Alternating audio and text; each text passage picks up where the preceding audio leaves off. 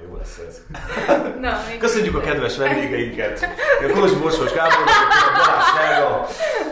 Mi leszünk ma este, vagy ma délután, vagy a mai nap folyamán a vendégei a Kiárat című műsornak. Köszönjük szépen!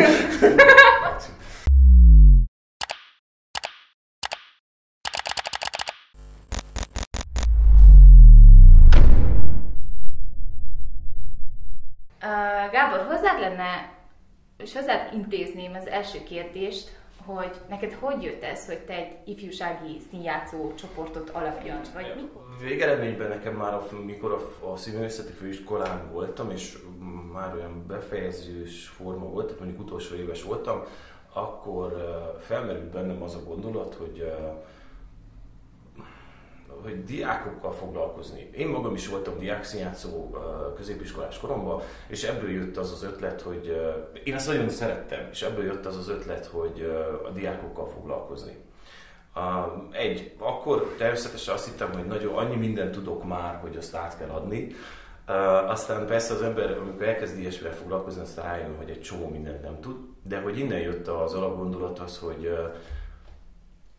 hogy valahogy ha nem is teljes körűen, de azért tudtam, hogy bármelyik városban létezik diákszijátszó csoport, így volt akkor a Salomon Ernő Gimnáziumnak a Maszkító nevű csoportja, és akkor én ott megkerestem a Salamon vezetőségét, és ők azt mondták, hogy hát persze nagyon szívesen, hogyha van kedvem, akkor besegítgethetek ebbe. Amikor, a, tehát én egy, egy éven, egy-két évet dolgoztam a Maszkítóval, a, ezzel a Salamon Ernő csoportjával, és um, egy adott ponton most lehet, hogy ez egy picit nagyképűen fog hangzani, egyre több diák kezdett érdeklődni, pont amiatt, mert hogy valószínűleg én valamilyen fajta szakmaiságot is belevittem ebbe, tehát hogy nem csak egy ilyen délutánonként összeülő műkedvelő kis csoport lett, hanem most már azért mondjuk picit komolyabban színházzal is kezdett foglalkozni ez a csoport. Elkezdett egy csomó diákot érdekelni egész Gyergyó középiskoláiból, tehát hogy nem csak a Salamonból, és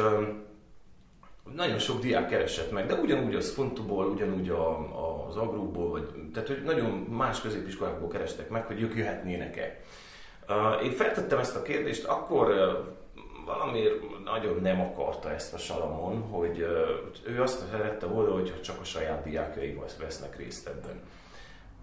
És ekkor fontolódott bennem ez a pucs, igazából ezt nevezhetjük egy kicsit pucsnak, nem érzem hibásnak magam miatta, hogy hogy alapítsunk egy olyan csoportot, ami összefogja a gyergyói középiskolákat.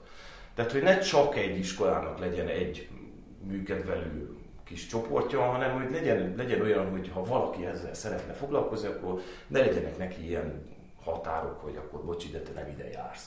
És akkor innen alakult meg a szinkron csoport, ez lett a neve, ez egy nagyon az, hogy miért lett ez a neve, az Hát ez, még már magam sem tudom, de tudom, hogy földobtam ezt a, a, a tagok között, hogy akkor ki mit szeretne, milyen nevet. Aztán jött egy csomó rendkívül hülye név.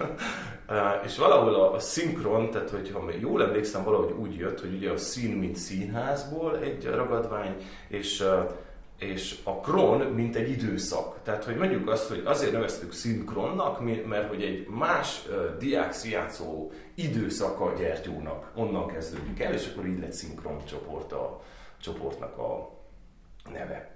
Uh, Helga, ne hallgass te sem. Te hogy kerültél Gáborékhoz a csapatba? Honnan értesültél rá, és mikor kezdted ezt el? Hát én három éve vagyok, idén össze lesz három éve, hogy csatlakoztam. Ha jól emlékszem, akkor először ugye Salamonnak szokott minden ősszel lenni megszervezve a szavalóverseny, és ott, volt, ott voltak, mint meg, meghívott, egy ilyen nagyon rövid jelenetet adtak elő, akkor még ugye nem, tehát nekem az volt az első találkozásom ezzel az egésszel. Én kicsi kilencedikesként nem is ismertem őket nagyon, csak úgy azt láttam, hogy tetszik, ami ott van. De hogy akkor sem volt az bennem, hogy na én most ezt... Csak Mi úgy... volt ez meg? Nem, nem tudom, hát egy 9. hát mikor három éve verseny volt, és ki vagyok énból, ezt hiszem abból Jaj, tényleg, igen, igen, igen, igen, igen. Na igen, és akkor úgy utána kezdtem, ugye akit, akit csoporttagokkal megismertem egyet, megismertem kettőt, és akkor úgy kérdeztem, hogy de ez mi, és akkor úgy meséltek, és első perctől nagyon pozitívan, hogy de gyeres, jó lesz, abszolút, és akkor úgy, hát miért ne? Úgyhogy így, így találtam rájuk. Jól érzed ott magad most? Nagyon, igen. Amúgy most itt említettétek a Ki vagyok én előadást, ez úgy tudom saját darab nektek, ugye? Ezt te rendezted. Igen, igen, nem, nem nagyon szeretem azt, tehát én nem vagyok rendező, tehát én nem szeretem rendezőnek hívni magam, pláne nem ebben a közegben. Um, hát ez úgy állt össze, hogy ez, hú, ez egy nagyon, ez az egyik azt hiszem legtöbbet futott előadása ennek a csoportnak, tehát szinte négy éven keresztül futott ez az előadás. Ez onnan indult, hogy volt egy ilyen korszakom, amikor rettenetesen elkezdtem szeretni verseket olvasni, pedig soha nem szerettem. És uh, onnan jött az ötlet, hogy láttam, hogy elég sok zenész van a csoportban, hogy miért ne kötnénk össze egy ilyen pódium műsorrá az, hogy mindenki kiválasztja mondjuk az egy-két kedvenc versét, vagy kedvelt versét, vagy keresgél és talál magának egy izgalmas verset, és ezt kössük össze zenével. Tehát, hogy valahogy a vers és a zene, tehát számomra a vers az mindig vagy kicsit zene. Tehát, hogy mindig egy kicsit tehát hallok vagy ritmusokat, vagy dallamokat egy vers mögött. És akkor innen született meg az, hogy, hogy valahogy összekötni a zenét a verssel. És pont adta magát azt, hogy voltak zenészek a csoportban, és hát ugye amit kikötöttem, hogy lehetőleg azért foglalkozzunk kortárs versekkel. Tehát azért éppen nem menjünk vissza Balasi Bálintig, mert azért lehet, hogy ez már egy a korosztálynak is lehet, hogy unalmas, meg hát azért alapvetően a, mondjuk a különböző újabb irányzatokkal a modern vers, vagy a kortárs vers sokkal izgalmasabb kezdett lenni számomra akkor. De ezt úgy tapasztaltam, hogy ez a, a tagoknak is ugyanez volt. Igen, és hogy, igen, és hogy a, a, ki vagyok én. Tehát, hogy így alakult ez az egész előadás, hogy összeraktunk egy csomó verset, aztán húztunk ki belőle, kivettünk, betettünk, és ezeket variáltuk olyan zenékkel, ami mondjuk... Tehát, hogy nem, próbáltam nem mindig meghatározni, hogy milyen zene legyen benne, tehát mindig azt mondtam, hogy mi az, amit szeretnétek. És akkor azt megpróbáltuk mindig valahogy kontextusba helyezni egy verssel, vagy, vagy hogy megtalálni azokat a kapcsolódási pontokat, hogy mondjuk a punani masszív dala, hogy talán mondjuk egy, nem tudom, egy, egy bármilyen kortás költőnek a versével. Ti bárkit fogadtok ide, nem? Persze. Én ha jól láttam nálatok, volt toborzás is az elmúlt van, mindig van egy olyan két-három év, amikor úgy kifutnak az emberek. Tehát, hogy amikor kezd kiürülni a csoport, na akkor egy kicsit megpróbáljuk nyomni azt, hogy na akkor most embereket, embereket, embereket, hogy kicsit töltsük vissza a létszámot. Mert én azt gondolom, hogy olyan 10-12 ember az olyan nagyon ideális, de ha olyan 20 szig el lehet menni. A 10 alatt már egy kicsit olyan szegény ki is. Tehát, hogy, mert hogy ugye megint csak nem kötelező dologról beszélgetünk, hanem ez egy opcionális dolog, mindenki választ magutja ezt a dolgot, bármikor kiléphet, hogyha úgy gondolja. És azért azt érzem, hogyha mondjuk elindítunk egy évet, mondjuk 18-20 diákkal, akkor abból mondjuk az év végére marad csak 12, vagy csak 10. És akkor ezért minden két-három évente azért megpróbálok toborozni. Most már arra is rájöttem, hogy fölösleges mondjuk szociális médiában toborozni, mert úgy se fog. Tehát, hogy most az, aki mondjuk végig görget, se lát egy ilyet, hogy gyere szinkronba, tehát szerintem annyira már ismerik a csoportot, hogy nem kell nekik mondani, hogy van ilyen. Tehát hogy ezért mondtam azt nekik, hogy ha úgy látjátok, hogy van valaki, akivel szívesen dolgozzátok, azt hívjátok. És akkor általában így, így kerülnek be új emberek.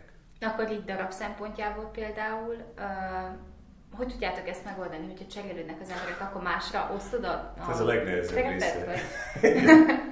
hát ez a legnehezebb része számomra, hogy uh, ugye tehát mondjuk most, most készülünk egy új előadással, és tudom be, hogy van mondjuk végzős a csoportban, vagy van olyan, aki mondjuk nem Gyergyóban tanul tovább, akkor mindig valahogy, most már, már átállt annyira az agyam, hogy valahogy úgy készítünk előadásokat, hogy hogy vagy pótolható legyen, vagy hogyha kihagyódik, akkor ne szenvedjen nagy csorbát az előadás.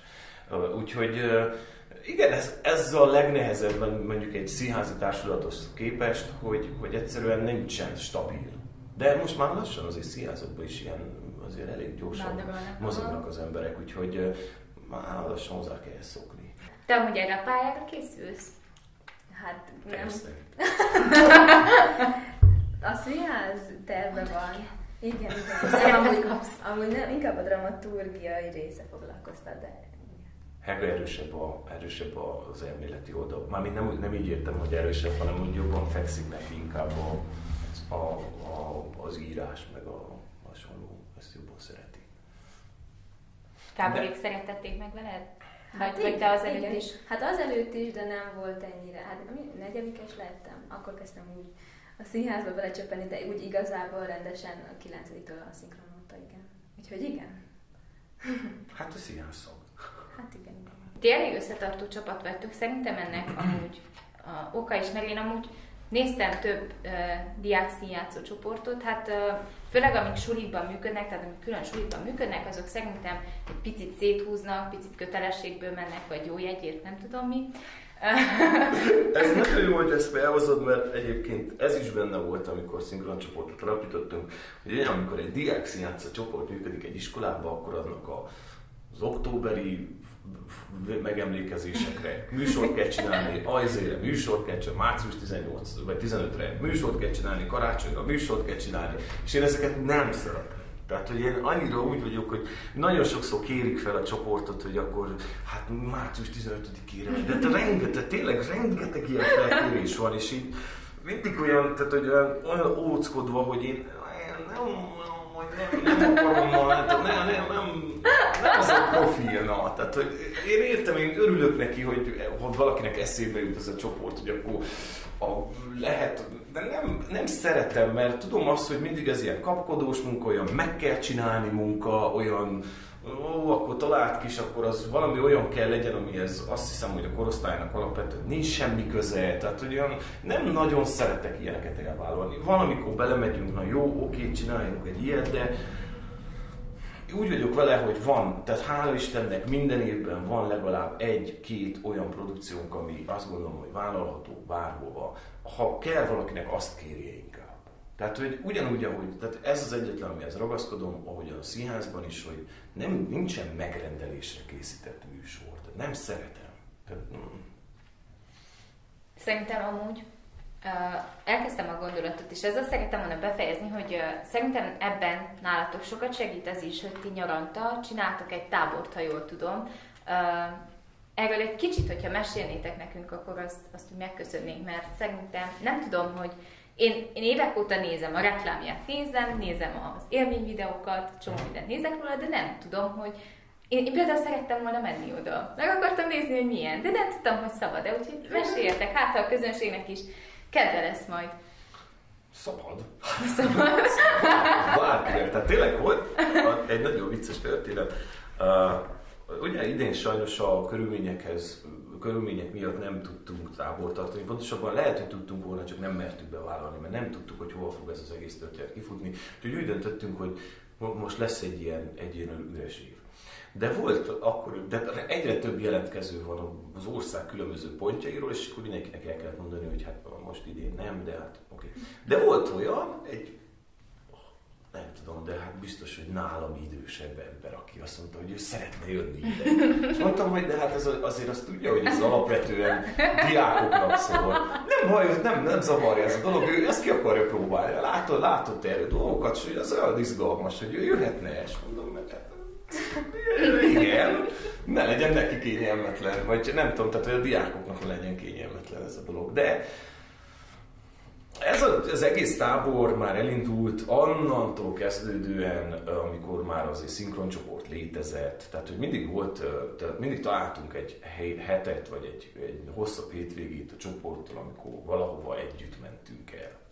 Ezt még nem neveztük Csalamádé tábornak, hanem ezt mindig szinkron tábornak hívtuk, vagy valamilyen adtunk egy ilyen nevet neki. De nem volt, nem volt ez egy publikus dolog, tehát ez olyan volt, hogy kivettünk, meg tudom, dumáltunk, vagy csináltunk valamit, de semmi extra nem volt benne.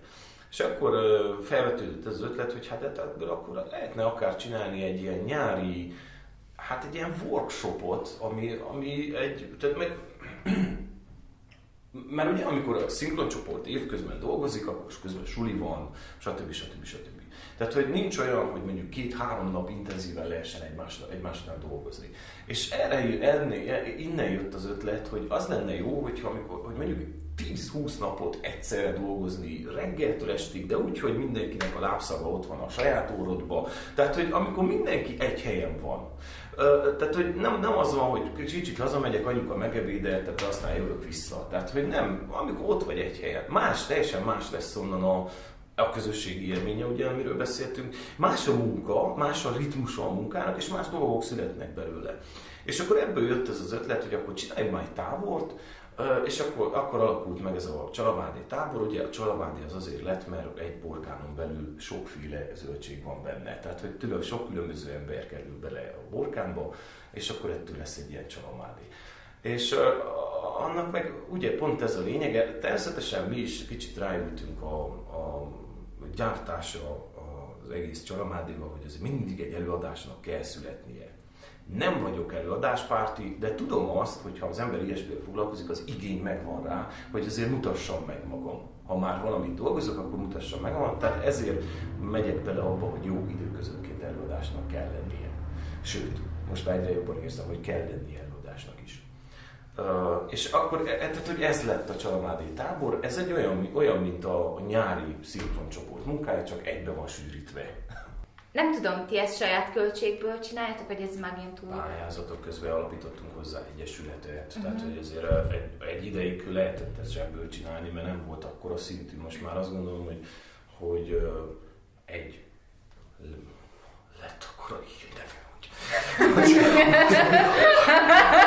lett akkor a, lett akkor a, reklámja az egésznek, és nem csak a telenyomott reklámokra gondolok, hanem hogy már a szájról szájra terjedően lett akkor a reklámja ennek, hogy, hogy azért most nem lehet ezt zsebből megcsinálni. Tehát, hogy amikor tíz napra egy 20 embernek vagy 25 embernek egy házat kell bérelni, ott kajálni kell, ott mindent, tehát azt nem, tehát oké. Okay. És mindig az volt a célunk, hogy a lehető legolcsóbb tábor legyünk a Erdélyben. Támogatunk egyre, tehát hogy akad, akad, de igazából ilyen nagyobb támogató nem ártana. Tehát, hogy mondjuk egy, aki azt mondja, hogy én minden évben fektetek be, mert úgy látom, hogy igen. Ezt kicsit nehezebb, mondjuk nem is vagyok az a házolós fajta, aki megy és akkor hagyjatok már, hagyjatok már tehát ugye volt olyan, aki jelentkezett, hogy ők szívesen segítgetnének benne, mindig van, vannak ilyen, de hogy olyan, aki azt mondja, hogy mondjuk ő szívesen vinni a hátán anyagilag, vagy legalábbis támogatás szempontjából a tábort, ők még sajnos nem találtunk. Hogy kell elképzelni a Csalamádiban egy hetet? Ezt, hát ezt el tudod te mondani úgy, mint megélője a tábornak, nem? Ezt, ezt elmondani nem lehet igazából. Nem elmondani. hát most pont amúgy Tavaly ilyenkor volt az első hét, mert ugye ez három hetes. Van egy, egy kiszállásos hét, úgymond, és kettő, másfél, másfél, hét, másfél uh, Gyergyóba a színház. De hogy akkor már otthon alszunk, úgymond, de hogy a intenzív folyamat van a színházban. És akkor most lett volna, és tavaly ilyenkor most volt az első hete a Csamádinak, és akkor most ilyen nagyon nosztalgikus hangulatban vagyunk, hogy több, többiekkel is beszéltük, hogy, hogy hát ezt csináltok te vagy, ezt csináltok, na de hogy Hát nem tudom, hát igazából tényleg nem csak, hogy emberből van itt mindenféle, hanem a reggeli futástól a tábortűzig, a, a pudingtól a... nem tudom, tehát megpróbálhatnám leírni, nem tudom, tényleg... Hm.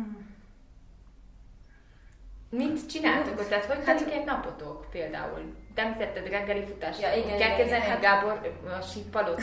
Elmenettetek fújja a sípocs. Mindenki hát, fut nem, fut, fut velük. Erre van ember. Ja! van, erre van ember, aki fújja. Igen. Hát azért tavaly például úgy volt, hogy minden reggel futással kezdtünk, akkor ők is jöttek velünk, és utána délelőtt pedig ilyen fizikai tréningek voltak.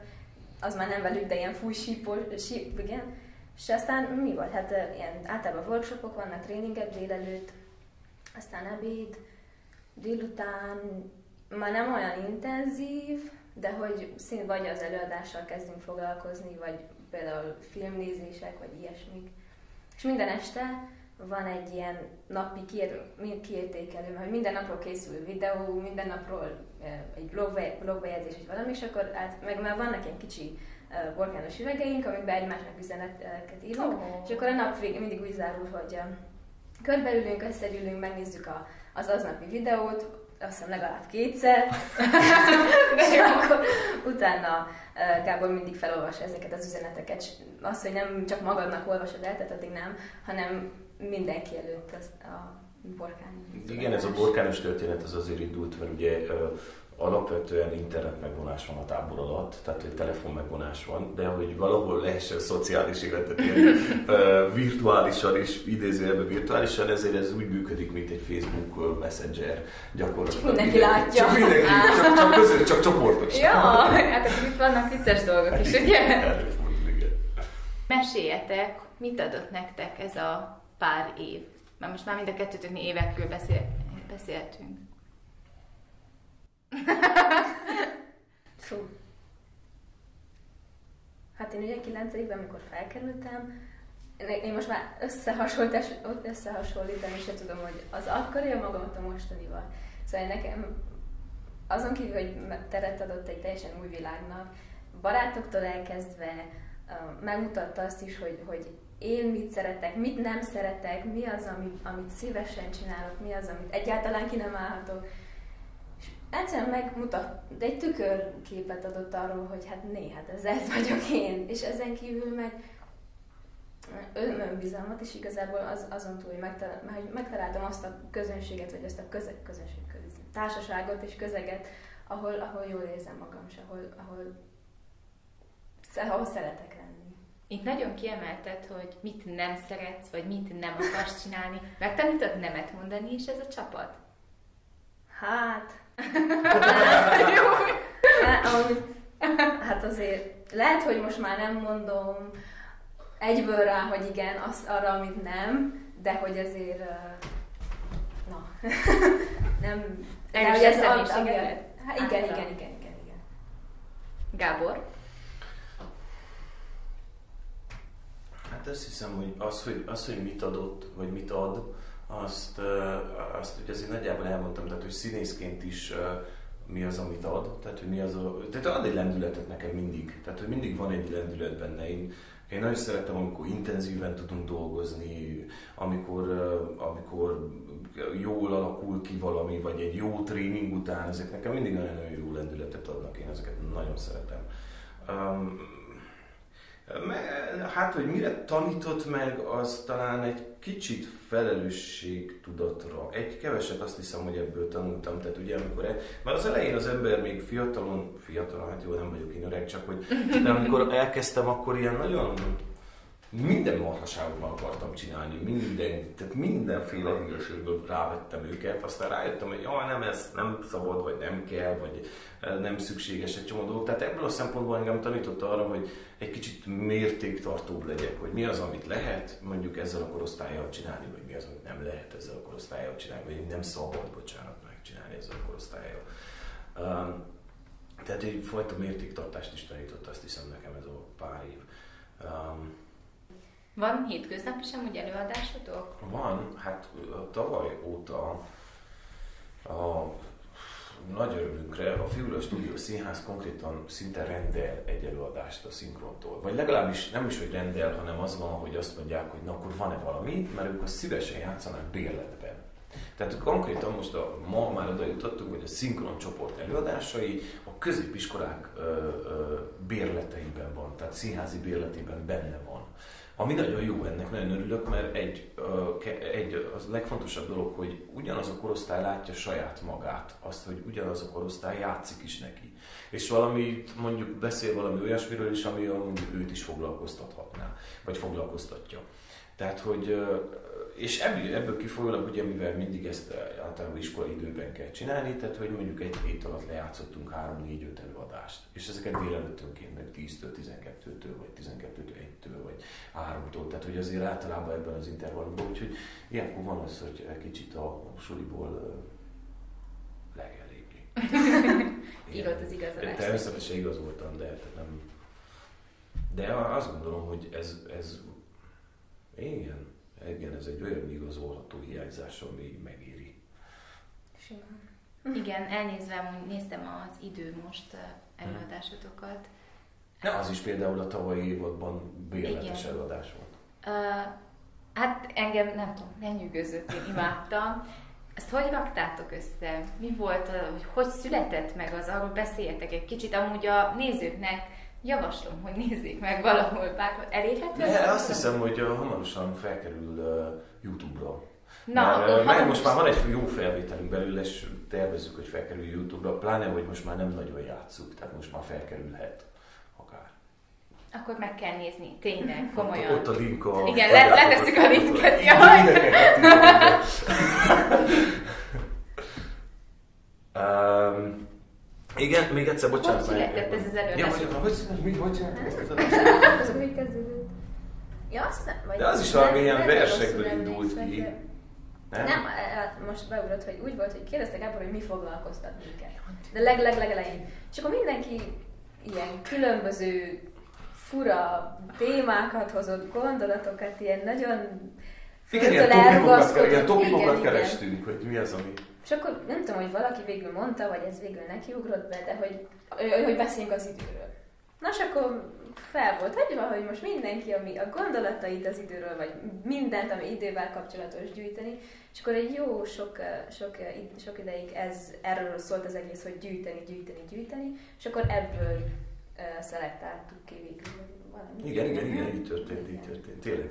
Akkor ha jól értem, amúgy ti most is dolgoztok. Ugye? Persze, szeptember, nem tudom mikor megy ki a műsor, de szeptember 16-án lesz bemutatója az előadásnak. Tehát egy szűk, egy hónap múlva.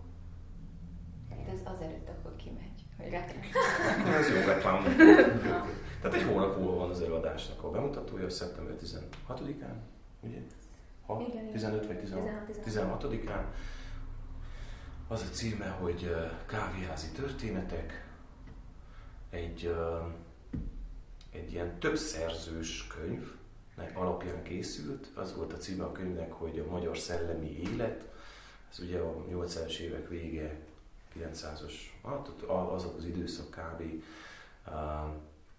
És az akkori, az, a, a 80-as évek végi celebek, tehát az akkori nagy sztárok írnak egy-egy történetet az életükből. Mindenki, tehát ő felkérte egy szerkesztőket, hogy írjatok egy-egy ilyen elbeszélést arról, hogy mondjuk az életetekben, még hogy kerültetek egy színházhoz, vagy hogy lettél festő, vagy nem tudom. Tehát, hogy uh, ilyen, ilyen celeb történetek vannak benne, ezt most idézőjelbe teszem, hogy celeb, de amúgy tényleg celeb történetek, mert akkor ezek ilyen nagy arcok voltak ebben a korszakban. Tehát itt gondolok, mit tudom, Eredekelekre, Gombaszögi Ellára, mit tudom én, Délinére, tehát hogy ilyen az akkori nagy arcok voltak, és akkor mindegyik írt egy-egy történetet, és akkor így ott odaadtam a könyvet, és azt mondtam, mindenki válaszol magának egy történetet, és akkor mindenki kiválasztott ebből egy sztorit, és ez az egész egy ilyen kávéházban történik, ahol közben danolgatnak egy kicsit, kicsit táncolgatnak, mesélnek ma az, ezeknek az embereknek az életéről, mintha ők lennének, ugye, tehát itt, be a színház része, hogy ők játszanak most el, karaktereket játszanak, de nem amúgy,